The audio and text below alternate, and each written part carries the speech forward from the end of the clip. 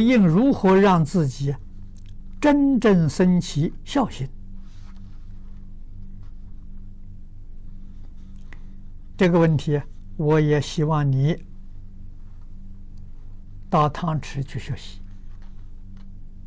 啊，这个不是讲的，你看看汤池老师如何以身作则。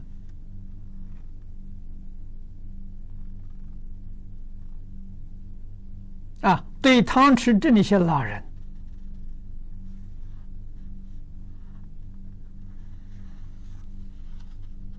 表演出那个尽孝的孝心，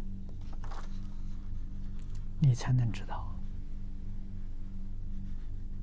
啊，这个要用行动来教你，绝不是言语。啊，言语没用处。啊，言语那么《孝经》。《弟子规》啊，《感应篇》都讲的很多